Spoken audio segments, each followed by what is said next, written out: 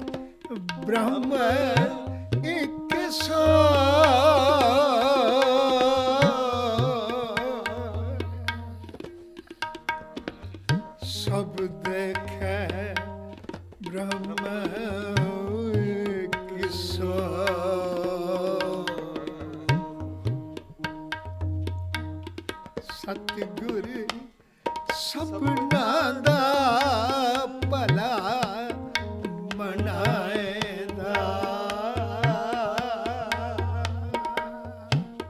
ਸਤਿਗੁਰ ਸਭਨਾ ਦਾ ਭਲਾ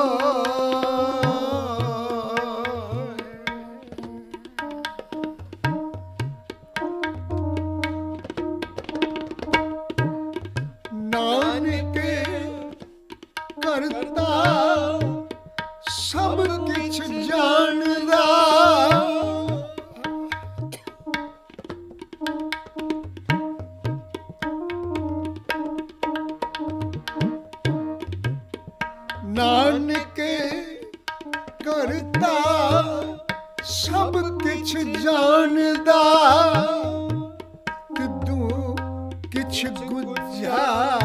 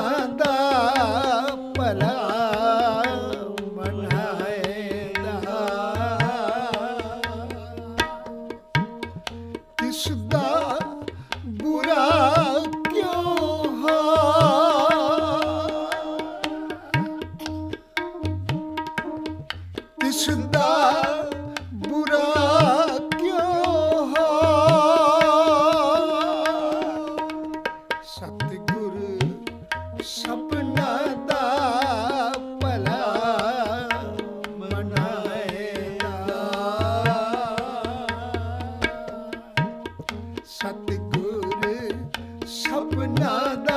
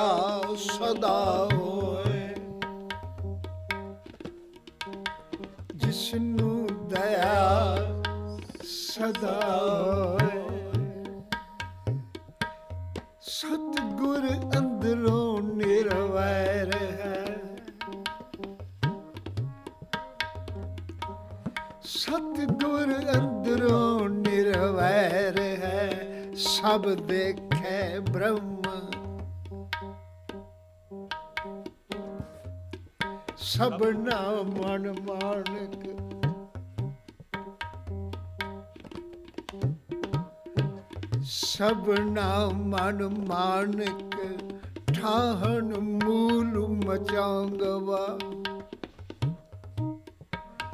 ਜੇ ਤੋ ਪ੍ਰਿਆ ਦੀ ਸਿੱਕ ਮੈਨੂੰ ਹਰ ਇੱਕ ਵਿੱਚ ਰੱਬ ਦਿਸਦਾ ਹੈ। ਸਭ ਦੇਖੇ ਬ੍ਰਹਮ ਇੱਕ ਸੋਏ। ਤੇ ਸੋਚਣਾ, ਜੇ ਉਸ ਮਾਲਕ ਨੂੰ ਮਿਲਣਾ ਹੈ ਤਾਂ ਕਿਸੇ ਦਾ ਦਿਲ ਨਾ ਦੁਖਾਏ। ਜੇ ਤੋ ਪ੍ਰਿਆ ਦੀ ਸਿੱਕ ਹਿਆਉ ਨਾ ਠਾਏ ਕਈਦਾ ਸਭ ਨਾ ਮਨ ਮਾਨਕ, ਸਭ ਦੇਖੇ ਬ੍ਰਹਮ ਇੱਕ ਸੋਏ। ਸਭ ਕੋ ਮੀਤ ਹਮ ਆਪਨ ਕੀਨਾ। ਸਭ ਕੋ ਮੀਤ ਹਮ ਆਪਨ ਕੀਨਾ। ਹਮ ਸਭਨਾ ਕੇ ਸਾਜਨ। ਦੂਰ ਪਰਾਇਓ ਮਨ ਕਾ ਬਿਰਹਾ।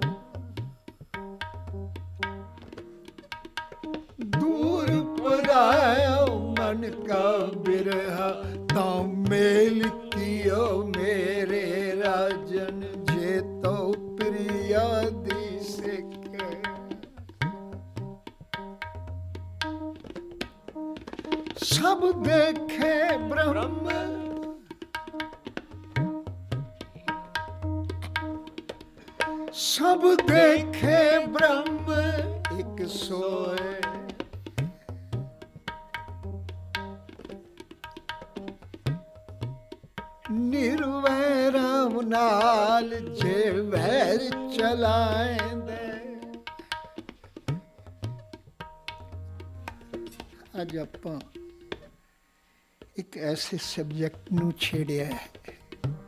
ਗੁਰੂ ਤੇਗ ਬਹਾਦਰ ਪਾਤਸ਼ਾਹ ਜੀ ਦਾ ਸ਼ਹੀਦੀ ਪੁਰਬ ਵੀ ਮਨਾ ਰਹੇ ਹਾਂ। ਕਿ ਕੱਲ ਸ਼ਹੀਦੀ ਪੁਰਬ ਹੈ। ਤੇ ਮੈਂ ਚਾਹੁੰਦਾ ਸਾਂ ਉਸ ਸੰਬੰਧੀ ਕੁਝ ਗੱਲਾਂ ਬਹੁਤ ਜ਼ਰੂਰੀ ਨੇ ਜਾਣਨ ਵਾਲੀਆਂ। ਨਹੀਂ ਤਾਂ ਕਲਮਾਂ ਨੇ ਹਰ ਮੋੜ ਤੇ ਸਾਨੂੰ ਕਨਫਿਊਜ਼ ਕੀਤਾ ਹੈ। ਅਸੀਂ ਗੁਰਮਤਿ ਸਿਧਾਂਤ ਦੀ ਰੌਸ਼ਨੀ ਵਿੱਚ ਨਹੀਂ ਆ ਸਕੇ। ਚਲੋ, ਖੈਰ, ਮੈਂ ਅੱਜ ਵੱਖ-ਵੱਖ ਪਹਿਲੂ ਤੋਂ ਤੁਹਾਡੇ ਨਾਲ ਕੁਝ ਸਾਂਝਾ ਕਰਨਾ ਚਾਹੁੰਦਾ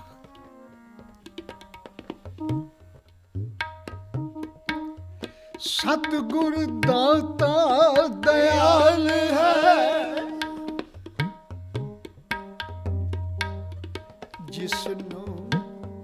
ਦਇਆ ਸਦਾ ਹੋਏ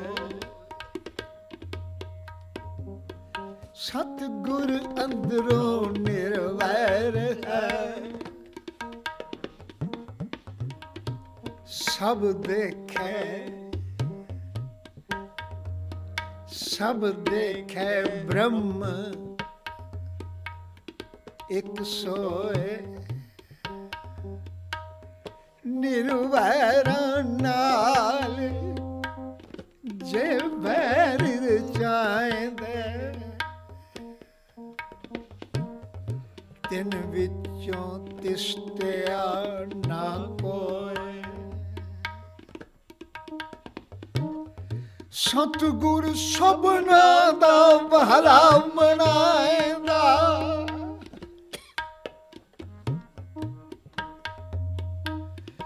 ਸਤਿਗੁਰ ਸਭਨਾ ਦਾ ਭਲਾ ਮਨਾਏਂਦਾ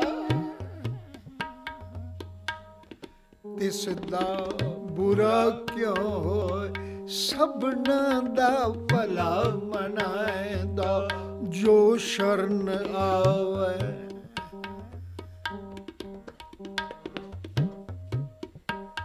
ਜੋ ਸ਼ਰਨ ਆਵੇ। ਤਿਸ ਕੰਠ ਲਾਵੇ, ਸਭਨਾ ਦਾ ਭਲਾ ਮਨਾਏਂਦਾ। ਜੋ ਸ਼ਰਨ ਆਵੇ, ਤਿਸ ਕੰਠ ਲਾਵੇ, ਏ ਬਿਰਦ ਸੁਆਮੀ ਸੰਦਾ। ਦਰਬਾਰਨ ਮੈਂ ਤੇਰੋ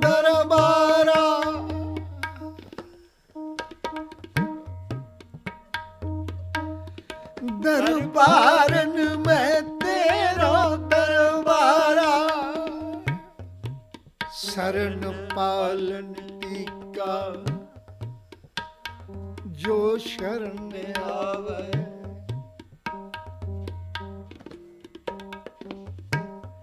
ਸਰਨ ਜੋਗ ਦਿਆਲੇ।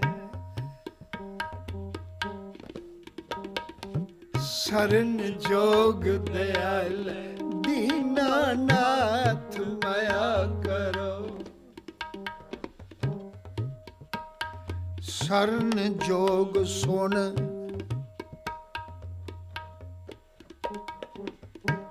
ਸਰਨ ਜੋਗ ਸੁਣ ਸਰਨੀ ਆਏ ਸ਼ਰਨ ਆਉਣ ਵਾਲਿਆਂ ਨੇ ਵੀ ਸੁਣਿਆ ਵੀ ਹਰ ਕੋਈ ਸ਼ਰਨ ਨਹੀਂ ਦਿੰਦਾ।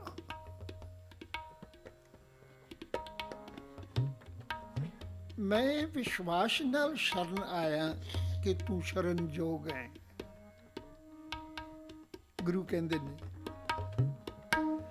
ਜੋ ਤੇਰੀ ਸ਼ਰਨ ਆਈ, ਹਰ ਜਿਆ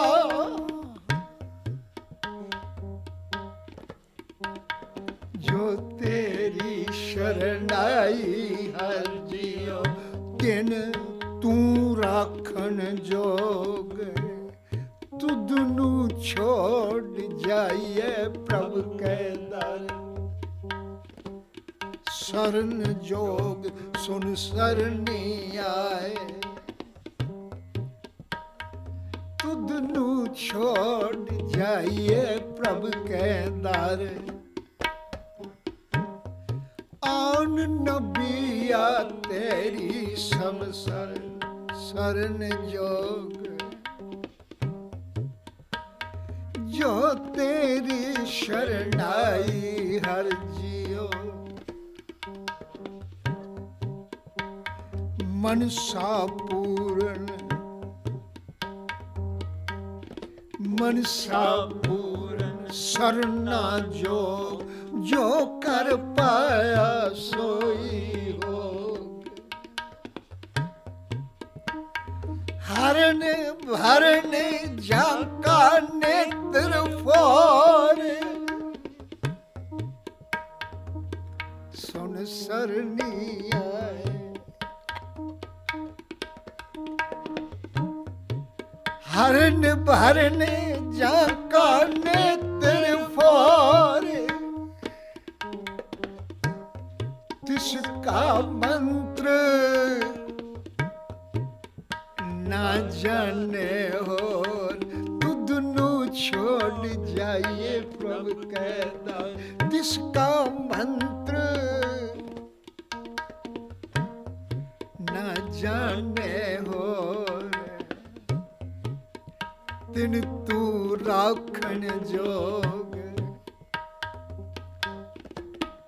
ਜੇ ਵਡ ਮੈਂ ਹੋਰ ਨਾ ਦਿਸੈ ਤੁਧ ਜੇ ਵਡ ਮੈਂ ਹੋਰ ਨਾ ਦਿਸੈ ਨਾ ਕੋ ਹੋਆ ਨਾ ਹੋਗ। ਇਤਿਹਾਸਕ ਤੌਰ ਤੇ ਵੀ ਸ਼ਰਨ ਆਉਣ ਵਾਲਿਆਂ ਨੇ ਜਿਨ੍ਹਾਂ ਨੇ ਗੁਰੂ ਤੇਗ ਬਹਾਦਰ ਪਾਤਸ਼ਾਹ ਜੀ ਦੀ ਸ਼ਰਨ ਲਈ। ਪਹਿਲਾਂ ਅਮਰਨਾਥ ਦੇ ਮੰਦਰ ਵੀ ਗਏ। ਇਸ ਦੀ ਅਮਰਨਾਥ ਦੇ ਮੰਦਰ ਵੀ ਗਏ। ਉੱਥੋਂ ਦੀ ਸ਼ਰਨ ਵੀ ਲਈ। ਉੱਥੋਂ ਭਟਕਦੇ ਭਟਕਦੇ ਵਾਪਸ ਪਤਾ ਲੱਗਣ ਤੇ ਗੁਰੂ ਤੇਗ ਬਹਾਦਰ ਪਾਤਸ਼ਾਹ ਜੀ ਦੀ ਸ਼ਰਨ ਆਏ। ਮੈਂ ਇਤਿਹਾਸਕ ਵਿਸਥਾਰ ਵਿੱਚ ਨਹੀਂ ਜਾਣਾ ਚਾਹੁੰਦਾ। ਹੁਣ ਸਵਾਲ ਸਾਡੇ ਸਾਹਮਣੇ ਇਹ ਹੈ ਕਿ ਆ ਕੇ ਅਰਜ਼ ਕੀਤੀ ਜੀ, ਸਾਡੇ ਧਰਮ ਵਿਸ਼ਵਾਸ ਨੂੰ ਖਤਰਾ ਹੈ। ਧਰਮ ਵਿਸ਼ਵਾਸ ਧਰਮ ਵਿਸ਼ਵਾਸ ਇੱਕ ਨਹੀਂ, ਦੋ ਨਹੀਂ, ਵੱਖ ਵੱਖ ਨੇ। ਪਰ ਅਜੀਬ ਗੱਲ ਹੈ, ਜਿਹੜਾ ਮਨੁੱਖ ਜਿਸ ਧਰਮ ਵਿਸ਼ਵਾਸ ਵਿੱਚ ਜਿਉ ਰਿਹਾ ਹੈ, ਉਸ ਵਿੱਚ ਉਹ ਗੁਨਾਹ ਨਹੀਂ ਕਰ ਰਿਹਾ। ਇਸਲਾਮ ਧਰਮ ਹੈ, ਉਹ ਵੀ ਧਰਮ ਹੈ। ਬੜਾ ਵਸੀ ਹੈ, ਆਜ਼ਾਦੀ ਦੁਨੀਆ ਮੁਸਲਮਾਨ ਹੈ। ਬਹੁਤ ਵੱਡਾ ਧਰਮ ਹੈ। ਉਹਨਾਂ ਦੇ ਸਾਧਨ ਵੀ ਨੇ, ਉਹਨਾਂ ਦੇ ਨਿਯਮ ਵੀ ਨੇ, ਜੋ ਜੋ ਹੋਣੇ ਚਾਹੀਦੇ ਨੇ, ਸਾਰੇ ਕੁਝ ਨੇ। ਔਰ ਇੱਕ ਇਹ ਵੀ ਦੇਖਣਾ ਹੈ ਵੀ ਜੇ ਔਰੰਗਜ਼ੇਬ ਇਹ ਕਹਿੰਦਾ ਕਿ ਮੈਂ ਹਿੰਦੁਸਤਾਨ ਵਿੱਚ ਕੇਵਲ ਇਸਲਾਮ ਧਰਮ ਚਾਹਨਾ ਮੰਨ ਲਓ। ਤਾਂ ਗੁਨਾਹ ਤੇ ਨਹੀਂ ਨਾ ਕਰ ਰਿਹਾ, ਹਰ ਕੋਈ ਚਾਹੁੰਦਾ ਹੈ। ਅਸੀਂ ਵੀ ਜਦੋਂ ਕੋਈ ਬੱਚਾ ਅੰਮ੍ਰਿਤ ਛਕ ਲੈਂਦਾ ਹੈ, ਜੇ ਕੋਈ ਗੈਰ ਕਿਸੇ ਕਮਿਊਨਿਟੀ ਵਿੱਚੋਂ ਛਕ ਲਵੇ, ਹੋਰ ਜ਼ਿਆਦਾ ਉਤਸ਼ਾਹ ਦਿਖਾਈਦਾ ਦੇਖੋ ਜੀ ਸਿੰਘ ਸੱਜ ਗਿਆ। ਸੁਭਾਵਕ ਜੀਆਂ ਗੱਲਾਂ ਜਿਹੜੀਆਂ ਰੋਜ਼ਾਨਾ ਜ਼ਿੰਦਗੀ ਦੀਆਂ ਉਹ ਤੁਹਾਡੇ ਨਾਲ ਸਾਂਝੀਆਂ ਕਰਨਾ ਚਾਹਨਾ ਜਿਸ ਧਰਮ ਵਿਸ਼ਵਾਸ ਵਿੱਚ ਕੋਈ ਜੀਵ ਰਿਹਾ ਹੁੰਦਾ ਹੈ, ਉਹਦੇ ਨਾਲ ਉਹਦਾ ਪਿਆਰ ਹੁੰਦਾ ਹੈ। ਇਸ ਲਈ ਔਰੰਗਜ਼ੇਬ ਕਿਉਂਕਿ ਆਪ ਮੁਸਲਮਾਨ ਹੈ, ਇਸ ਲਈ ਉਹ ਚਾਹੁੰਦਾ ਹੈ ਕਿ ਮੇਰੇ ਚੁਫੇਰੇ ਮੇਰੇ ਰਈਅਤ ਵਿੱਚ, ਮੇਰੀ ਰਿਆਸਤ ਵਿੱਚ, ਮੇਰੇ ਦੇਸ਼ ਵਿੱਚ ਮੁਸਲਮਾਨ ਹੋਣ। ਹੁਣ ਮੁਸਲਮਾਨ ਹੋਣਾ ਕੋਈ ਗੁਨਾਹ ਵੀ ਨਹੀਂ। ਲੋ ਥੋੜੀ ਜਿਹੀ ਵਿਸ਼ਾਲਤਾ ਨਾਲ ਅੱਜ ਆਪਾਂ ਗੁਰਮਤਿ ਦੇ ਇਸ ਆਸ਼ੇ ਨੂੰ ਸਮਝਣਾ ਹੈ। ਕਿਉਂਕਿ ਜੇ ਗੁਰੂ ਦੀ ਨਿਗਾਹ ਵਿੱਚ ਇਹ ਗੁਨਾਹ ਹੁੰਦਾ, ਤਾਂ ਸ੍ਰੀ ਗੁਰੂ ਗ੍ਰੰਥ ਸਾਹਿਬ ਵਿੱਚ ਬਾਬੇ ਫਰੀਦ ਨੂੰ ਇਹ ਹੱਕ ਨਾ ਦਿੰਦੇ ਵੀ ਤੂੰ ਇਸਲਾਮ ਦਾ ਪ੍ਰਚਾਰ ਕਰ ਲੈ। ਸ੍ਰੀ ਗੁਰੂ ਗ੍ਰੰਥ ਸਾਹਿਬ ਵਿੱਚ ਗੁਰੂ ਆਪ ਥਾਂ ਦੇ ਰਿਹਾ ਫਰੀਦ ਨੂੰ। ਮੇਰਾ ਥਾਂ ਹੀ ਨਹੀਂ ਦੇ ਰਿਹਾ ਆਪਣੇ ਬਚਪਨ ਤੋਂ ਲੈ ਕੇ ਪਹਿਲਾ ਮਰਦਾਂ ਮਰਦਾਨਾ ਨਾਲ ਹੈ ਉਹ ਵੀ ਇਸਲਾਮ ਨਾਲ ਸੰਬੰਧ ਰੱਖਦਾ ਅੱਗੇ ਚਲੋ ਚਲੋ ਚਲੀਏ ਤੇ ਫਿਰ ਸਾਈਂ ਮੀਆਂ ਮੀਰ ਨੇ ਜਿਹੜਾ ਸਭ ਤੋਂ ਨਜ਼ਦੀਕੀ ਗੁਰੂ ਅਰਜਨ ਪਾਤਸ਼ਾਹ ਜੀ ਦਾ ਦੋਸਤ ਹੈ, ਪਿਆਰ ਹੈ।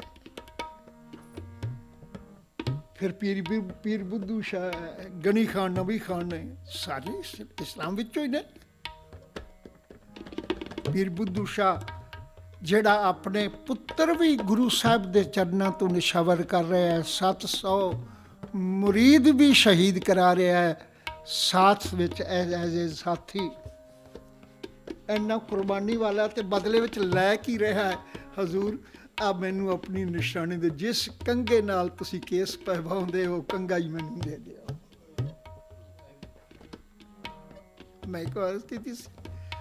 ਜਦੋਂ ਵਾਪਸ ਆਉਂਦਾ ਤੇ ਆਪਣੇ ਬੱਚਿਆਂ ਨੂੰ, ਸਹਿਬਜ਼ਾਦਿਆਂ ਨੂੰ ਨਾ ਵੇਖ ਕੇ ਨਾਲ ਬੀਬੀ ਫਾਤਮਾ ਪੁੱਛਦੀ ਹੈ ਘਰ ਵਾਲੀ ਪੁੱਛਦੀ ਹੈ ਕਿ ਕਿੱਥੇ ਹੈ ਮੇਰੇ ਬੇਟੇ? ਕਹਿਣ ਲੱਗੇ, ਮੈਂ ਬਹੁਤ ਕੁਝ ਮੇਰਾ ਮੇਰਾ ਮਿੱਤਰਤਾ ਨਾ ਮਿੱਤਰ ਦੋਸਤੀ ਦਾ ਮਸਲਾ ਸੀ ਤੇ ਦੋਸਤਾਂ ਵਿੱਚ ਲੋਕ ਪੱਗ ਵਟਾਉਂਦੇ ਨੇ, ਕੁਝ ਵਟਾਉਂਦੇ ਨੇ। ਮੈਂ ਆਪਣਾ ਕੋ, ਬਹੁਤ ਕੁਝ ਵਟਾ ਲਿਆ, ਮੈਂ ਪੁੱਤਰਾਂ ਨੂੰ ਭੇਟਾ ਕਰਕੇ ਆ ਦੇ ਕੰਗਾ ਲਿਆ ਇਹੋ ਜਿਹੇ ਲੋਕ ਇਸਲਾਮ ਵਿੱਚ ਨੇ। ਮੈਂ ਦੋਨੋਂ ਪੱਖ ਤੁਹਾਡੇ ਨਾਲ ਸਾਂਝੇ ਕਰਕੇ ਅੱਗੇ ਨਿਕਲਣਾ ਚਾਹਨਾ ਕਿ ਅੱਜ ਸ਼ਹੀਦੀ ਦਾ ਕਾਰਨ ਕੀ ਹੈ? ਜੇ ਇਸਲਾਮ ਨਾਲ ਕੋਈ ਨਫ਼ਰਤ ਹੁੰਦੀ ਤਾਂ ਇਹ ਲੋਕ ਨੇੜੇ ਨਾ ਹੁੰਦੇ। ਸ੍ਰੀ ਗੁਰੂ ਗ੍ਰੰਥ ਸਾਹਿਬ ਵਿੱਚ ਬਾਬਾ ਫਰੀਦ ਨੂੰ ਥਾਂ ਨਾ ਮਿਲਦੀ। ਉਹ ਸ੍ਰੀ ਗੁਰੂ ਗ੍ਰੰਥ ਸਾਹਿਬ ਵਿੱਚ ਜਿੰਨੂੰ ਅਸੀਂ ਇੱਕ ਇੱਕ ਅੱਖਰ ਨੂੰ ਆਪਣਾ ਗੁਰੂ ਮੰਨਦੇ ਆ ਉੱਥੇ ਗੁਰੂ ਬਾਬਾ ਫਰੀਦ ਦੀ ਜ਼ੁਬਾਨ ਤੋਂ ਇੱਕ ਗੱਲ ਆਖ ਰਿਹਾ ਹੈ, ਕਹਿੰਦਾ ਹੈ, ਉੱਠ ਫਰੀਦਾ ਉਯੂ ਸਾਜ।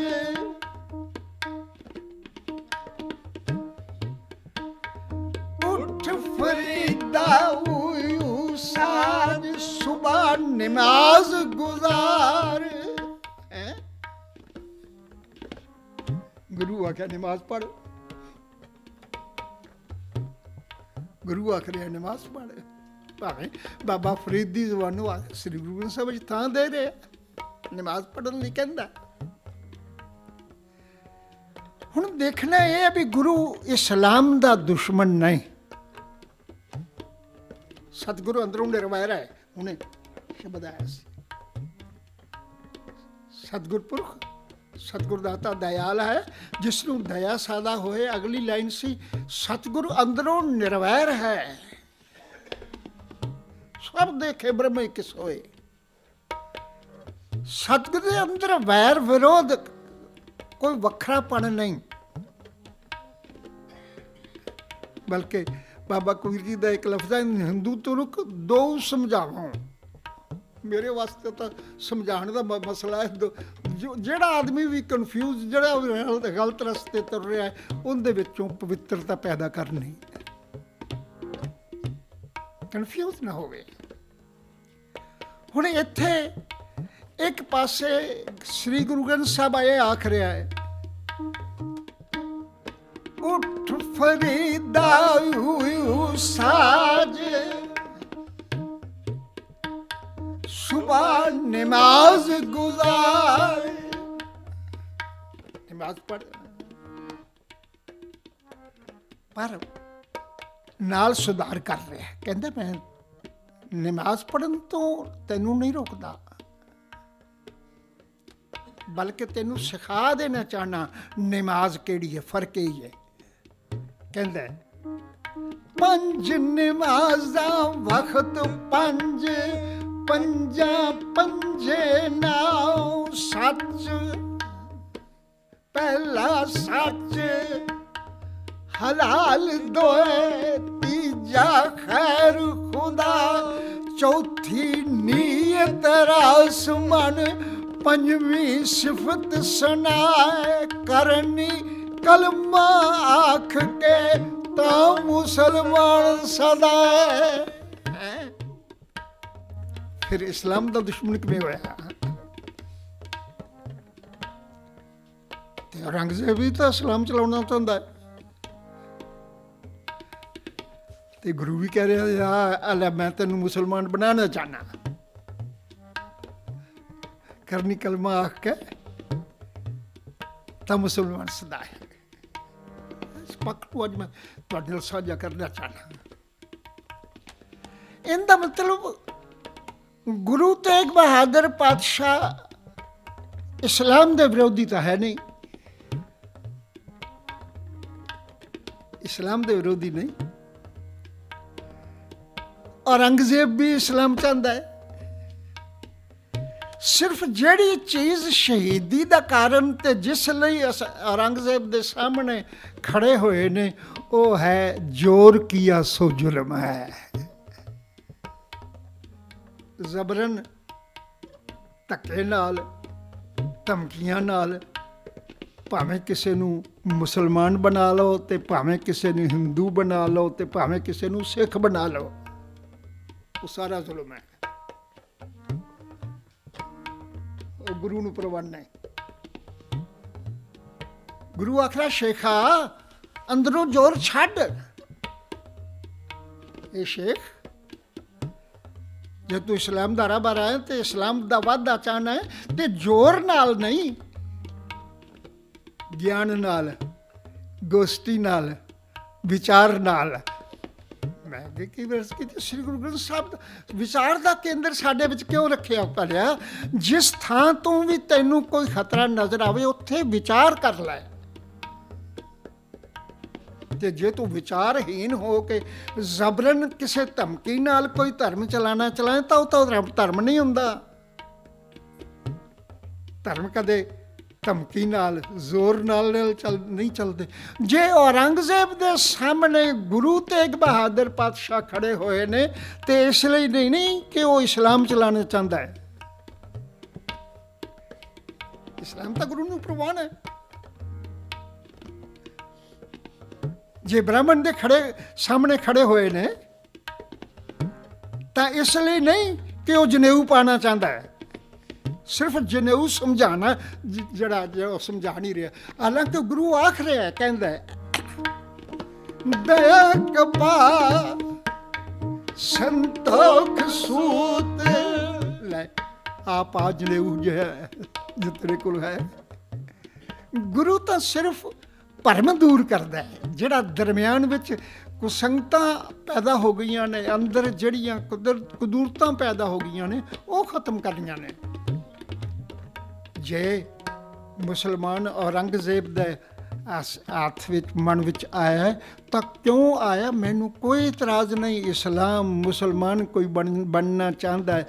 ਇਸਲਾਮ ਵਿੱਚ ਰਹਿ ਕੇ ਪੀਰ ਬੁੱਧੂ ਸ਼ਾਹ ਵਰਗਾ ਹੋਣਾ ਚਾਹੁੰਦਾ ਹੈ। ਜੇ ਗਨੀ ਖਾਨ, ਨਬੀ ਖਾਨ ਵਰਗਾ ਜਾਂ ਸਾਈਂ ਮੀਆਂ ਮੀਰ ਵਰਗਾ ਹੋਣਾ ਚਾਹੁੰਦਾ ਹੈ। ਗੁਰੂ ਨੂੰ ਕੀ ਇਸ ਗੱਲ 'ਚ ਫ਼ਰਕ ਪੈਂਦਾ? ਗੁਰੂ ਤਾਂ ਕਹਿੰਦਾ ਪਿਆਰ ਹੈ। ਸਿਰਫ ਫ਼ਰਕ ਕੀ ਹੈ? ਔਰੰਗਜ਼ੇਬ ਨਾਲ ਟਕਰਾਅ ਹੋਇਆ ਕਿਉਂਕਿ ਉਹ ਇਸਲਾਮ ਵਿੱਚ ਲਿਆਉਣਾ ਚਾਹੁੰਦਾ ਹੈ ਜ਼ਬਰਨ। ਆ ਗੱਲ ਤੇ ਜ਼ਬਰ ਕਦੋਂ ਹੁੰਦਾ ਹੈ? ਜ਼ਬਰ ਕਦੋਂ ਹੁੰਦਾ ਲੋ ਮੈਂ ਤੇ ਰੁਕਣਾ ਚਾਹਨਾ ਜ਼ਬਰ ਕਦੋਂ ਹੁੰਦਾ ਜਦੋਂ ਸ਼ਕਤੀ ਹੁੰਦੀ ਹੈ। ਹਮੇਸ਼ਾ ਜ਼ਬਰ ਸ਼ਕਤੀ ਵਾਣੀ ਕਰਦਾ ਹੈ। ਕਿਸੇ ਗਰੀਬ, ਕਿਸੇ ਨਿਰਬਲ ਨੇ ਕੀ ਜ਼ਬਰ ਕਰਨਾ ਜ਼ਬਰ ਹਮੇਸ਼ਾ ਸ਼ਕਤੀਵਾਨ ਕਰਨਾ ਹੈ। ਤੇ ਸ਼ਕਤੀ ਇੱਕ ਤਰ੍ਹਾਂ ਦੀ ਨਹੀਂ। ਦੌਲਤ ਵੀ ਸ਼ਕਤੀ ਹੈ, ਬਾਜ਼ੂ ਬਲ ਵੀ ਸ਼ਕਤੀ ਹੈ, ਰਾਜਨੀਤੀ ਵੀ ਸ਼ਕਤੀ ਹੈ। ਰਾਜ ਤਖਤ ਤੇ ਬੈਠਾ ਹੈ ਔਰੰਗਜ਼ੇਬ। ਜੇ ਉਹ ਰਾਜ ਤਖਤ ਤੇ ਨਾ ਬੈਠਾ ਹੁੰਦਾ ਤੇ ਉਹਦੇ ਮਨ ਵਿੱਚ ਜੇ ਇਸਲਾਮ ਦਾ ਵਾਅਦਾ ਵੀ ਆਉਂਦਾ ਤੇ ਉਹ ਜ਼ਰੂਰ ਵਿਚਾਰ ਨਾਲ, ਪਿਆਰ ਨਾਲ ਕਿਸੇ ਨੂੰ ਮੁਸਲਮਾਨ ਬਣਾਉਂਦਾ, ਧਮਕੀ ਨਾਲ ਜਾਂ ਜਨੇਊ ਲਾ ਕੇ ਨਾ ਬਣਾਉਂਦਾ। ਲਓ ਫ਼ਰਕ ਮੈਂ ਇੱਥੇ ਰੁਕਣਾ ਚਾਹਨਾ ਔਰੰਗਜ਼ੇਬ ਕੋਲ ਰਾਜ ਤਖਤ ਹੈ। ਜਿਸ ਲਈ ਗੁਰੂ ਤੇਗ ਬਹਾਦਰ ਪਾਤਸ਼ਾਹ ਜੀ ਨੂੰ ਸਾਹਮਣੇ ਖੜਾ ਹੋਣਾ ਪਿਆ ਮੈਨੂੰ ਇਸਲਾਮ ਦਾ ਵਿਰੋਧ ਨਹੀਂ। ਤੂੰ ਮੁਸਲਮਾਨ ਬਣਾ ਲੈਂਦਾ ਵਿਚਾਰ ਨਾਲ। ਪਰ ਤੇਰੇ ਕੋਲ ਰਾਜ ਸ਼ਕਤੀ ਹੈ।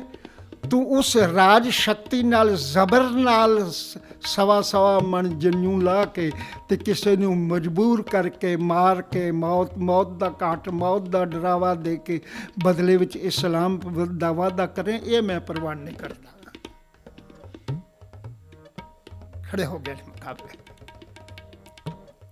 ਕਿਉਂਕਿ ਰਾਜ ਸ਼ਕਤੀ ਨਾਲ ਧਰਮ ਨਹੀਂ ਚੱਲਨੇ ਪਰ ਮੈਂ ਹੈਰਾਨ ਹੁੰਨਾ, ਇਹ ਸਾਡੇ ਸਾਹਮਣੇ। ਵੀ ਜੇ ਰਾਜ ਤਖਤ ਆਇਆ ਔਰੰਗਜ਼ੇਬ ਕੋਲ, ਉਹਨੇ ਆਖਿਆ, ਸਾਰੇ ਹਿੰਦੁਸਤਾਨ ਵਿੱਚ ਇਸਲਾਮ ਹੋਵੇ। ਸਾਰਾ ਦੇਸ਼ ਦਾ ਹਰ ਵਸਨੀਕ ਮੁਸਲਮਾਨ ਹੋਵੇ। ਤੇ ਜਿਹੜੇ ਅੱਜ ਗੁਨਾਹ ਕਹਿੰਦੇ ਨੇ, ਅੱਜ ਰਾਜ ਉਹਨਾਂ ਕੋਲ ਆਇਆ, ਉਹਨਾਂ ਆਖਿਆ, ਹਿੰਦੂ ਰਾਸ਼ਟਰ ਹੋਵੇ ਫਿਰ ਫ਼ਰਕ ਕੀ ਹੋਇਆ। ਰਾਜ ਹੀ ਬਦਲਿਆ। ਜੀ ਅੱਜ ਤੁਹਾਡੇ ਕੋਲ ਰਾਜ ਆਇਆ, ਤੁਸੀਂ ਆਖਦੇ ਹੋ ਹਿੰਦੂ ਰਾਸ਼ਟਰ ਹੋਵੇ, ਤੇ ਫਿਰ ਔਰੰਗਜ਼ੇਬ ਨੂੰ ਕਿਵੇਂ ਮਾੜਾ ਆਖੋਗੇ ਵੀ ਉਹਨੇ ਇਸਲਾਮ ਆਖਿਆ? ਉਹਦੇ ਕੋਲ ਰਾਜ ਸੀ।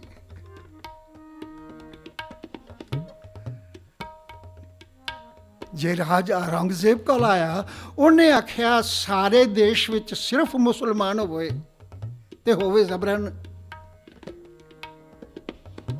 ਤੇ ਰਾਜ ਤੁਹਾਡੇ ਕੋਲ ਆਇਆ ਤੇ ਤੁਸੀਂ ਆਖਿਆ, ਹਿੰਦੁਸਤਾਨ ਹਿੰਦੂ ਰਾਸ਼ਟਰ ਹੋਵੇ। ਤੇ ਫਿਰ ਫ਼ਰਕ ਕੀ ਹੋਇਆ? ਪਰ ਮੈਂ ਇੱਕ ਗੱਲ ਦੱਸਣਾ ਚਾਹਨਾ ਜਿਹੜੀ ਗੁਰੂ ਨਾਨਕ ਦੀ ਹੈ ਜਿਹੜੀ ਗੁਰੂ ਤੇਗ ਬਹਾਦਰ ਪਾਤਸ਼ਾਹ ਦੀ, ਗੁਰੂ ਨਾਨਕ ਦੀ ਨਵੀਂ ਜੋਤ ਦੀ ਹੈ। ਉਹ ਕਹਿੰਦੇ ਨੇ, ਮੈਂ ਰਾਜ ਇਸੇ ਲਈ ਇਕੱਲਾ ਨਹੀਂ ਚਾਹੁੰਦਾ, ਰਾਜ ਜੋਗ ਚਾਹਨਾ। ਉਹਦਾ ਫ਼ਰਕ ਕੀ ਸਤਿਗੁਰੂ ਕਹਿੰਦੇ ਨੇ। ਹੁਣ ਹੁਕਮ ਹੋਆ ਮਿਹਰਬਾਨ ਦਾ।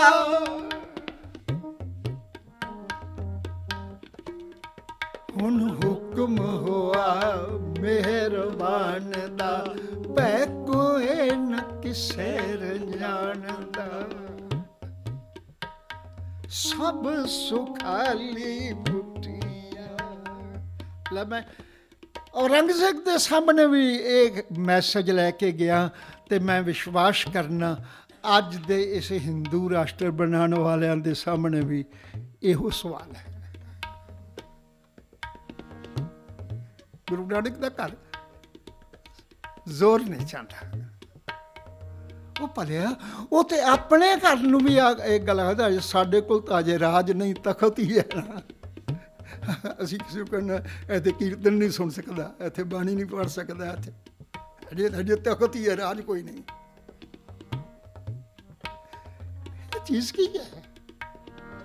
ਤਖਤ ਕੀ ਚੀਜ਼ ਹੈ? ਉਹ ਭਲਿਆ, ਰਾਜ ਬਿਨਾ ਤਖਤ ਜਿਹੜਾ ਹੈ ਨਾ, ਕਈ ਵਾਰੀ ਤਖਤ ਪੋਸ਼ ਹੀ ਬਣ ਜਾਂਦਾ ਹੈ। ਆ ਪੁਰਾਣੇ ਸਮੇਂ ਅੰਦਰ ਅੰਦਰ ਵੱਡਾ ਸਾਰਾ ਤਖਤ ਬਣਾ ਕੇ ਉਹਨੂੰ ਕਹਿੰਦੇ ਸਨ ਤਖਤ ਪੋਸ਼ ਉਸ ਨੂੰ ਬੈਠਣ ਦੇ ਕੰਮ ਹੀ ਹੁੰਦਾ ਸੀ। ਉਹਦਾ ਰਾਜ ਨਹੀਂ ਸੀ ਚੱਲਦਾ। ਜਿੰਦਾ ਹੁਕਮ ਕੋਈ ਨਾ ਮੰਨੇ, ਜਿੰਦੇ ਹੁਕਮ ਦੇ ਅੱਗੇ ਸਿਰ ਨਾ ਕੋਈ ਝੁਕਾਏ, ਉਹਦੇ ਹੁਕਮ ਤੋਂ ਲੋਕ ਪਰੇਸ਼ਾਨ ਹੋਣ, ਸਮਝੋ ਉਹਦੇ ਕੋਲ ਤਖਤ ਨਹੀਂ, ਤਖਤ ਪੋਸ਼ ਹੈ। ਅਸਲ ਵਿੱਚ ਰਾਜ ਉਹ ਹੈ ਜਿਹੜਾ ਇਕੱਲਾ ਰਾਜ ਹੋਵੇ ਤਾਂ ਔਰੰਗਜ਼ੇਬ ਬਣ ਸਕਦਾ ਹੈ। ਭਾਵੇਂ ਉਹ ਆਪਣੇ ਵੱਲੋਂ ਚੰਗਾ ਕੰਮ ਕਰ ਰਿਹਾ ਹੋਵੇ, ਪਰ ਉਹ ਆਪਣੇ ਗੁਣਾਂ ਨੂੰ ਪਛਾਣ ਨਹੀਂ ਸਕਦਾ। ਉਹ ਹਰ ਗੁਣ ਵੀ ਅਵਗੁਣ ਬਣ ਜਾਂਦੇ ਨੇ। ਤੇ ਗੁਰੂ ਸੱਚੇ ਪਾਤਸ਼ਾਹ ਆਪਣੀ ਰਚਨਾ ਤੋਂ ਇਸੇ ਲਈ ਆਖਦੇ ਨੇ, ਭਲਿਆ, ਮੈਂ ਦੁਸ਼ਮਣ ਨਹੀਂ। ਮੇਰੇ ਨਿਗਾਹ 'ਚ ਨਾ ਇਸਲਾਮ ਨਾਲ ਵੈਰ ਹੈ ਨਾ ਮੇਰੀ ਨਿਗਾਹ ਵਿੱਚ ਕਿਸੇ ਬ੍ਰਾਹਮਣ ਨਾਲ ਵੈਰ ਹੈ ਕਿ ਬ੍ਰਾਹਮਣ ਨੂੰ ਵੀ ਮੈਂ ਮੁਖਾਤਬ ਕੀਤਾ ਤਾਂ ਉਹਨੂੰ ਆਖਿਆ ਭਲਿਆ ਕਹੋ ਕਬੀਰ ਜੋ ਬ੍ਰਹਮ ਵਿਚਾਰੇ ਸੋ ਬ੍ਰਾਹਮਣ ਕਹੀਤ ਹੈ ਹਮਾਰੇ ਹੈ ਚੋਂ ਵਰਨ ਕੋ ਦੇ ਉਪਦੇਸ਼ ਨਾਨਕ ਉਸ ਪੰਡਤ ਕੋ ਸਦਾ ਆਦੇਸ਼ ਗੁਰੂ ਤਾਂ ਗੁਣਾ ਤੇ ਖੜਾ ਹੈ। ਉਹ ਕਹਿੰਦਾ ਭਲਿਆ, ਸੰਸਾਰ ਅੰਦਰ ਕਿਸੇ ਨੂੰ ਜ਼ਬਰਨ ਨਾਲ ਨਾ ਤੂੰ ਸਿੱਖ ਬਣਾ ਸਕਣਾ ਹੈ, ਜ਼ਬਰ ਨਾਲ ਨਾ ਤੂੰ ਮੁਸਲਮਾਨ ਬਣਾ ਸਕਣਾ ਹੈ, ਨਾ ਜ਼ਬਰ ਨਾਲ ਤੂੰ ਹਿੰਦੂ ਬਣਾ ਕੇ ਹਿੰਦੂ ਰਾਸ਼ਟਰ ਬਣਾ ਸਕਣਾ ਹੈ। ਇਹ ਤਾਂ ਮਨ ਦੀ ਅਵਸਥਾ ਤੇ ਪਿਆਰ ਦੇ ਸੌਦੇ ਨੇ ਤੇ ਦਇਆ ਦੇ ਰਹਿਮਤਾਂ ਦੇ ਸੌਦੇ ਨੇ। ਇਹੋ ਗੱਲ ਗੁਰੂ ਤੇਗ ਬਹਾਦਰ ਪਾਤਸ਼ਾਹ ਜੀ ਦੀ ਇਸ ਸ਼ਹੀਦੀ ਤੇ ਟੁਕਦੀ ਹੈ ਕਿ ਗੁਰੂ ਔਰੰਗਜ਼ੇਬ ਦੇ ਮੁਕਾਬਲੇ ਇਸ ਲਈ ਨਹੀਂ ਖੜਾ ਹੋਇਆ ਕਿ ਉਹ ਇਸਲਾਮ ਚਲਾਣਾ ਚਾਹੁੰਦਾ ਹੈ। ਇਸ ਲਈ ਖੜਾ ਹੋਇਆ ਹੈ ਕਿਉਂਕਿ ਉਹ ਰਾਜ ਸ਼ਕਤੀ ਦਾ ਨਜਾਇਜ਼ ਫਾਇਦਾ ਉਠਾਉਣਾ ਚਾਹੁੰਦਾ ਔਰ ਰਾਜ ਸ਼ਕਤੀ ਦੇ ਫਾਇਦਾ ਜਿੰਨੇ ਜਿੰਨੇ ਵੀ ਉਠਾਇਆ ਹੈ। ਮੈਂ ਇੱਕ ਵਾਰ ਅਰਜ਼ ਕੀਤੀ ਸੀ ਕਿ ਕਬੀਰ ਨੂੰ ਬ੍ਰਾਹਮਣ ਵੀ ਗੰਗਾ ਵਿੱਚ ਸੁੱਟ ਰਿਹਾ ਤੇ ਮਾਰ ਦੇਣਾ ਚਾਹੁੰਦਾ ਤੇ ਕਾਜ਼ੀ ਜਿਹੜਾ ਉਹ ਹਾਥੀ ਅੱਗੇ ਸੁੱਟ ਰਿਹਾ ਹੈ ਤੇ ਮਾਰ ਦੇਣਾ ਚਾਹੁੰਦਾ ਕਬੀਰੀ ਵੀਰੀ ਜੀ ਗੱਲ ਹੈ, ਉਹ ਮੁਸਲਮਾਨ ਹੈ, ਉਹ ਹਿੰਦੂ ਹੈ ਤੇ ਉਹ ਇੱਕ ਦਾ ਪੁਜਾਰੀ ਹੈ, ਉਹ 33 ਕਰੋੜ ਦੇਵਤੇ ਦਾ ਪੁਜਾਰੀ ਹੈ। ਜੇ ਇੱਕ ਨੂੰ ਮੰਨਣ ਵਾਲਾ ਬਾਬਾ ਕਬੀਰ ਜਿਹੜਾ ਕਹਿੰਦਾ ਹੈ, ਮੈਂ ਸਿਰਫ ਇੱਕ ਨੂੰ ਮੰਨਣਾ, ਕਿਸੇ ਹੋਰ ਨੂੰ ਨਹੀਂ ਮੰਨਦਾ ਜਦ ਹਮ ਇੱਕੋ ਇੱਕ ਕਰ ਜਾਣੇ ਆ ਤਬ ਲੋਗੇ ਕਾਹੇ ਦੁੱਖ ਮਾਰਨੇ ਆ ਫਿਰ ਉਹਨੂੰ ਕਾਜ਼ੀ ਨੂੰ ਤਾਂ ਨਹੀਂ ਮਾਰਨਾ ਚਾਹੀਦਾ। ਕਾਜ਼ੀ ਤਾਂ ਉਹਦਾ ਦੁਸ਼ਮਣ ਨਹੀਂ ਹੋਣਾ ਚਾਹੀਦਾ। ਪਰ ਨਹੀਂ, ਇਹ ਰਾਜ ਸ਼ਕਤੀ ਜਿਸ ਨਾਲ ਵੀ ਸੰਬੰਧਿਤ ਹੋ ਜਾਏ, ਉਹ ਆਪਾ ਭੁੱਲ ਜਾਂਦੇ ਹੈ ਭਾਵੇਂ ਔਰੰਗਜ਼ੇਬ ਭੁੱਲ ਗਿਆ, ਭਾਵੇਂ ਅੱਜ ਹਿੰਦੂ ਰਾਸ਼ਟਰ ਬਣਾਉਣ ਵਾਲੇ ਭੁੱਲ ਰਹੇ ਨੇ, ਗੁਰੂ ਦੋਹਾਂ ਨੂੰ ਯਾਦ ਕਰਾਉਂਦਾ ਹੈ। ਚੇਤਾ ਚੇਤਾ ਕਰਾਂਦਾ ਗੁਰੂ ਤੇਗ ਬਹਾਦਰ ਪਾਤਸ਼ਾਹ ਤੇ ਕਹਿੰਦਾ ਜੇ ਮੈਂ ਔਰੰਗਜ਼ੇਬ ਨੂੰ ਰੋਕ ਸਕਣਾ ਤੇ ਤੁਹਾਨੂੰ ਵੀ ਰੋਕ ਸਕਣਾ। ਇਹ ਸਤਿਗੁਰੂ ਦੀ ਦਿਆਲਤਾ ਹੈ। ਸਤਿਗੁਰੂ ਇਸੇ ਲਈ ਕਹਿੰਦੇ ਨੇ, ਸਤਿਗੁਰ ਅੰਦਰੋਂ ਨਿਰਵੈਰ ਹੈ।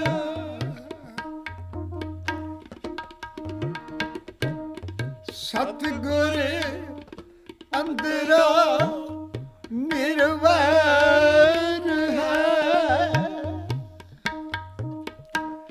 ਸਭ ਦੇਖੇ ਬ੍ਰਹਮ ਇੱਕ ਸੋ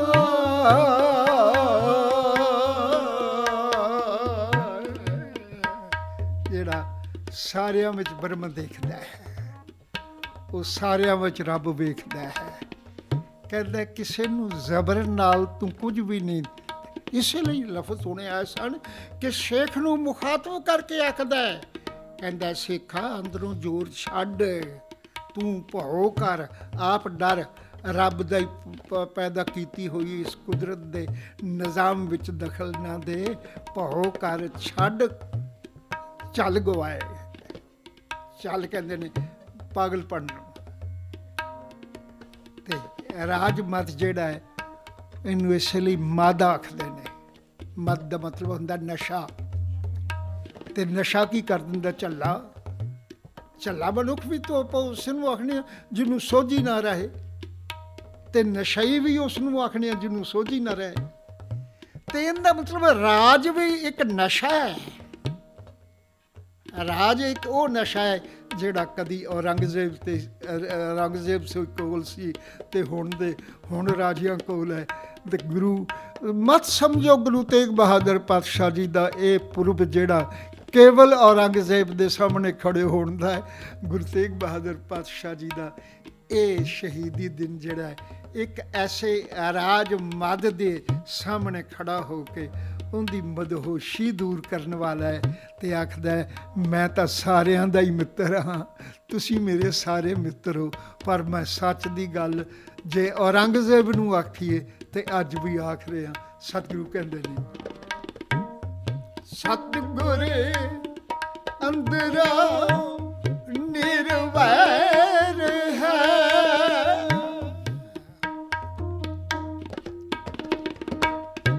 ਸਭ ਦੇਖੇ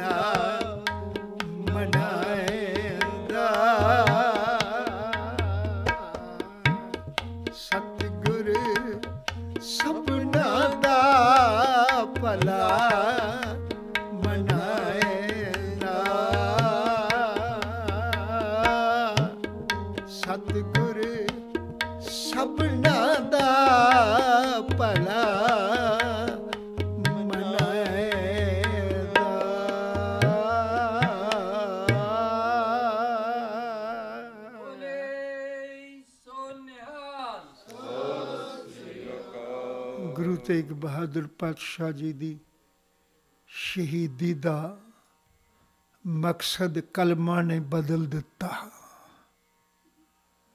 ਇਹ ਸਾਬਤ ਕਰਨ ਲਈ ਕਿ ਖੌਰੇ ਗੁਰੂ ਤੇਗ ਬਹਾਦਰ ਪਾਤਸ਼ਾਹ ਇਸਲਾਮ ਦੇ ਵਿਰੋਧੀ ਸਨ। ਜ਼ਬਰ ਜ਼ੁਲਮ ਦੇ ਵਿਰੋਧੀ ਸਨ। ਜ਼ਬਰ ਜ਼ੁਲਮ ਕਿਸੇ ਤੇ ਵੀ ਹੋਇਆ। ਉਹਦੇ ਅੱਗੇ ਖੜੇ ਹੋਏ ਔਰ ਮੈਂ ਹੈਰਾਨ ਹੁੰਨਾ ਕਿ ਪਿਛਲੇ ਦਿਨਾਂ ਚ ਬਸ ਕੀਤੀ ਸੀ। ਅੱਜ ਰਾਜ ਸਿੰਘਾਸਨ ਜਿਨ੍ਹਾਂ ਤੇ ਉਦੋਂ ਜ਼ੁਲਮ ਹੋਇਆ ਤੇ ਗੁਰੂ ਤੇਗ ਬਹਾਦਰ ਪਾਤਸ਼ਾਹ ਜੀ ਨੇ ਸਾਹਮਣੇ ਖੜੇ ਹੋ ਕੇ ਉਸ ਜ਼ੁਲਮ ਤੋਂ ਇੱਕ ਆਵਾਜ਼ ਦਿੱਤੀ, ਆਖਿਆ, ਹੈ ਜਲਾਦੋ, ਅੱਜ ਤੁਹਾਡੀ ਤਲਵਾਰ ਮੇਰਾ ਸੀਸ ਹੀ ਨਹੀਂ ਕੱਟੇਗੀ। ਮਾਨੋ ਮਨੁੱਖਤਾ ਦੇ ਪੈਰਾਂ ਵਿੱਚ ਜ਼ੰਜੀਰਾਂ ਪਈਆਂ ਹੋਈਆਂ, ਗੁਲਾਮੀ ਦੀਆਂ ਕੱਟੀਆਂ ਜਾਣਗੀਆਂ। ਪਰ ਅਜੀਬ ਗੱਲ ਇਹ ਹੈ, ਜਿਨ੍ਹਾਂ ਦੀਆਂ ਜ਼ੰਜੀਰਾਂ ਉਦੋਂ ਗੁਰੂ ਤੇਗ ਬਹਾਦਰ ਪਾਤਸ਼ਾਹ ਜੀ ਨੇ ਕੱਟੀਆਂ, ਅੱਜ ਉਹ ਹੀ ਜ਼ੰਜੀਰਾਂ, ਜਿਵੇਂ ਬਾਬਾ ਕਬੀਰ ਜੀ ਦੀ ਬਾਣੀ ਦੇ ਇੱਕ ਲਫ਼ਜ਼ ਆਇਆ ਨਾ ਕਿ ਵੇਦ ਕੀ ਪੁੱਤਰੀ ਸਿਮਰਤ ਭਾਈ, ਸੰਕਲ ਜੇਵੀ ਲੈ ਆਈ। ਅੱਜ ਮਨ ਨੂੰ ਸਿਮਰਤੀਆਂ ਦੀਆਂ ਵੱਡੀਆਂ ਮਜ਼ਬੂਤ ਜ਼ੰਜੀਰਾਂ ਲੈ ਕੇ ਅੱਜ ਫਿਰ ਮਨੁੱਖਤਾ ਨੂੰ ਉਸੇ ਤਰ੍ਹਾਂ ਫਿਰ ਕੈਦ ਕੀਤਾ ਜਾ ਰਿਹਾ ਹੈ। ਸਾਡੇ ਨਾਲ ਹੋ ਰਿਹਾ ਹੈ। ਮੈਨੂੰ ਤਾਂ ਦੁੱਖ ਇਸ ਲਈ ਹੁੰਦਾ ਹੈ ਕਿਉਂਕਿ ਸੰਪਰਕ ਰੱਖਣਾ ਅੱਜ ਸਭ ਕੁਝ ਸਾਡੇ ਹੱਥੋਂ ਜਾ ਰਿਹਾ ਹੈ। ਜਿਨ੍ਹਾਂ ਸਥਾਨਾਂ ਤੇ ਜਿਨ੍ਹਾਂ ਸਿਧਾਂਤਾਂ ਵਿੱਚ ਅਸੀਂ ਹੁਣ ਤੱਕ ਰਹਿ ਕੇ ਗੌਰਵ ਕਰਦੇ ਸਾਂ, ਕੁਝ ਸਾਡੀਆਂ ਆਪਣੀਆਂ ਗਲਤੀਆਂ ਤੇ ਕਮਜ਼ੋਰੀਆਂ ਔਰ ਕੁਝ ਉਹਨਾਂ ਕਮਜ਼ੋਰੀਆਂ ਦਾ ਫਾਇਦਾ ਉਠਾਉਣ ਉਠਾਉਣ ਵਾਲਿਆਂ ਨੇ ਉਠਾਇਆ, ਉਹ ਦਿਨ ਵਾਹਿਗੁਰੂ ਨਾ ਕਰੇ ਐਸੇ ਦਿਨ ਨਾ ਆਉਣ, ਪਰ ਇੱਕ ਤੋਖਲਾ ਹੈ, ਜੇ ਅੱਜ ਕੌਮ ਜਾਗ ਕੇ ਇਹ ਨਹੀਂ ਮਸਲਾ ਵੀ ਅਸੀਂ ਕਿਸੇ ਦੇ ਗੱਲ ਪੈਣਾ ਹੈ। ਸਿਰਫ ਸ੍ਰੀ ਗੁਰੂ ਗ੍ਰੰਥ ਸਾਹਿਬ ਸਮਝ ਕੇ ਅਸੀਂ ਇੱਕ ਇੱਕ ਕਰਕੇ ਇਹਦੀ ਗੋਦੀ ਵਿੱਚ ਆ ਜਾਣਾ ਹੈ। ਬਚਾ ਇਸੇ ਤਰ੍ਹਾਂ ਹੈ। ਇਹਦੇ ਬਿਨਾ ਹੋਰ ਕੋਈ ਬਚਾ ਨਹੀਂ ਜੇ। ਜੇ ਅਸੀਂ ਇਹ ਇਹਦੇ ਚਰਨਾਂ ਵਿੱਚ ਨਹੀਂ ਬੈਠਾਂਗੇ, ਸਾਨੂੰ ਆਪਣੇ ਸਿਧਾਂਤ ਦਾ ਹੀ ਪਤਾ ਨਹੀਂ ਲੱਗਣਾ। ਮੈਂ ਹੁਣ ਜੇ ਮੈਂ ਅਰਜ਼ ਕੀਤੀ ਹੈ ਵੀ ਗੁਰੂ ਨੇ ਇਹ ਤਾਂ ਆਖਿਆ ਹੀ ਨਹੀਂ ਵੀ ਮੈਂ ਮੈਂ ਜਨੇਊ ਨਹੀਂ ਪਾਉਂਦਾ। ਉਹਨੇ ਆਖਿਆ, ਮੈਂ ਆ ਜਨੇਊ ਪਾਉਣਾ। ਆ ਜਨੇਊ ਪਾਉਣਾ। ਉਹਨੇ ਇਹ ਤਾਂ ਆਖਿਆ ਹੀ ਨਹੀਂ, ਨਮਾਜ਼ ਨਾ ਪੜ੍ਹ। ਉਹਨੇ ਆਖਿਆ, ਨਹੀਂ, ਆ ਨਮਾਜ਼ ਪੜ੍ਹ। ਜੇ ਤੈਨੂੰ ਪੜਨੀ ਆ ਜਾਏ। ਤੇ ਵਿਸ਼ਵਾਸ ਕਰ। ਅੱਜ ਸਾਡੇ ਨਾਲ ਵੀ ਉਹ ਕੁਝ ਹੋ ਰਿਹਾ ਹੈ। ਸਾਨੂੰ ਇਹ ਪਤਾ ਨਹੀਂ ਲੱਗ ਰਿਹਾ ਅਸੀਂ ਕਿਵੇਂ ਸਿੱਖ ਬਣਨਾ ਹੈ। ਅਸੀਂ ਸਮਝਦੇ ਹਾਂ ਵੀ ਖੋਰੇ ਉਤੋਂ ਦੀ ਕਿਰਪਾਨ ਪਾਲ ਲੈਣ ਨਾਲ ਲਾੜਾ ਪ੍ਰਕਾਸ਼ ਕਰਨ ਨਾਲ, ਦੁਆਲੇ ਬਣ ਲੈਣ ਨਾਲ, ਢੀਲੇ ਪੀਲੇ ਕੱਪੜੇ ਪਾਣ ਨਾਲ ਅਸੀਂ ਮਹਾਨ ਸਿੱਖਾਂ ਸ੍ਰੀ ਗੁਰੂ ਗ੍ਰੰਥ ਸਾਹਿਬ ਕੋਲੋਂ ਸਿੱਖੀ ਪੜ੍ਹੀਏ। ਸਿੱਖਿਆ ਸਤਿਗੁਰੂ ਨੇ ਬਾਣੀ ਵਿੱਚ ਆਖਿਆ, ਸਿੱਖੀ ਕੀ ਹੈ? ਸਿੱਖੀ, ਸਿੱਖਿਆ, ਗੁਰ ਵਿਚਾਰ। ਗੁਰੂ ਦੀ ਵਿਚਾਰ, ਸ੍ਰੀ ਗੁਰੂ ਗ੍ਰੰਥ ਸਾਹਿਬ ਦੀ ਬਾਣੀ ਦਾ ਅਧਿਐਨ, ਉਹਦੇ ਅਨਸਾਰ ਆਪਣੇ ਜੀਵਨ ਦੇ ਨਿਯਮ ਢਾਲਨੇ, ਇਸ ਬਿਨਾ ਹੋਰ ਸਿੱਖੀ ਨੂੰ ਬਚਾਇਆ ਨਹੀਂ ਜਾ ਸਕੇਗਾ। ਇਹਨਾਂ ਸ਼ਬਦਾਂ ਨਾਲ ਖਿਮਾ ਦਾ ਜਾਚਕ ਹਾਂ। ਫਤਿਹ ਬੁਲਾਓ। ਵਾਹਿਗੁਰੂ ਜੀ ਕਾ ਖਾਲਸਾ ਵਾਹਿਗੁਰੂ ਜੀ ਕੀ ਫਤਿਹ।